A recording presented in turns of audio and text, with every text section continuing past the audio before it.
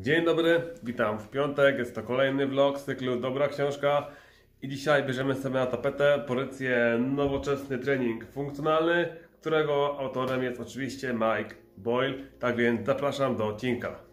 I na początek warto sobie o tym wspomnieć, że jest to pozycja, która głównie będzie dla sportowców, ale jeśli na przykład ktoś jest takim półamatorem, który, który dużo trenuje i lubi naprawdę sport, to będzie to dla niego także dobra pozycja, która pomoże mu unikać kontuzji i pokaże jak ćwiczyć lepiej, bezpieczniej i skuteczniej. I teraz idąc do samego autora, czyli do Michaela Boyla, jest to trener, który ma około 30 lat stażu w tym co robi i może się na przykład pochwalić naprawdę dużą ilością zawodników, których poziom podniósł i którzy później zdobywali różne medale i inne sukcesy w sporcie.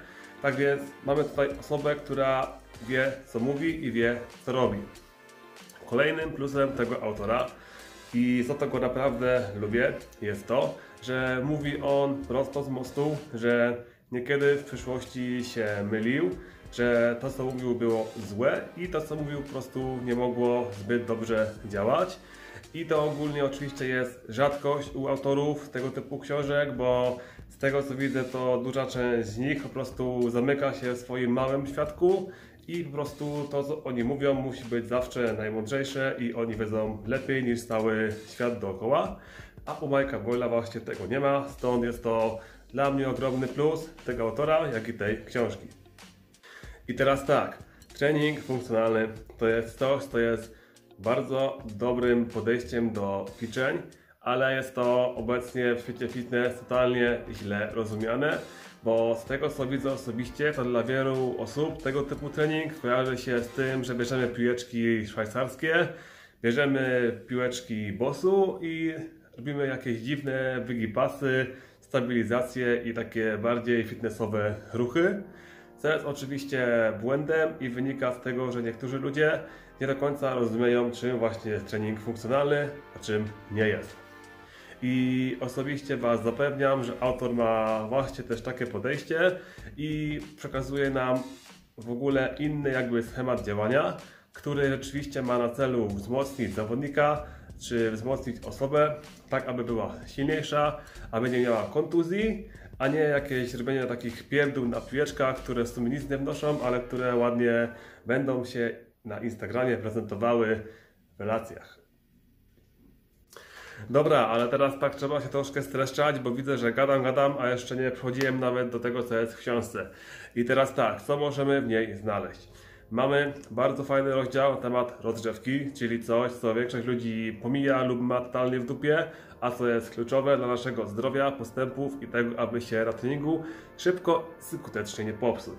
I tutaj mamy e, wyjaśnione, czym jest rozgrzewka poprzez rozciąganie statyczne, dynamiczne i dlaczego warto używać wałków jak to robić skutecznie i jak tego nie robić, tak żeby potem nie było jak teraz niektórzy, co idą na siłownię i leżą przez pół godziny na kulce i się masują, bo to nie ma sensu. I potem przechodzimy do kolejnych rozdziałów i tam mamy oczywiście jakby całe nasze ciało w segmentach. Mamy na temat treningu core rozdział, na temat treningu górnych partii ciała, na temat dolnych partii ciała.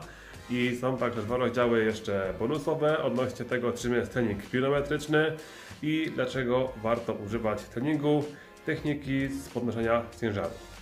Na końcu oczywiście jest też rozdział odnośnie planów treningowych, jak je układać, jak to robi autor i mamy także kilka gotowych schematów, które możemy gdzieś tam sobie wykorzystać i u siebie wdrożyć. I czy ja tą książkę polecam i dlaczego? Polecam, ponieważ sam autor jest, jak już mówiłem, osobą, która robi to, co robi od wielu lat i w przeciwieństwie do wielu innych teoretyków, którzy się naprawdę mądrzą, to on naprawdę ma wyniki u swoich zawodników. E, wbrew temu, co jest często u innych osób, które cały czas gadają, jakie to są mądre, ale w sumie nigdy nikogo jeszcze dobrego nie wytrenowały. Stąd też, jeśli na przykład jesteś takim półsportowcem, który to naprawdę lubi robić, który kocha aktywność, to ta pozycja Ci pomoże pod tym kątem, aby się wzmocnić, aby zrozumieć, jak musisz trenować, aby wzmacniać to, co potrzebujesz w Twoim sporcie, jak się nie uszkodzić i jak zachować zdrowie na długi okres.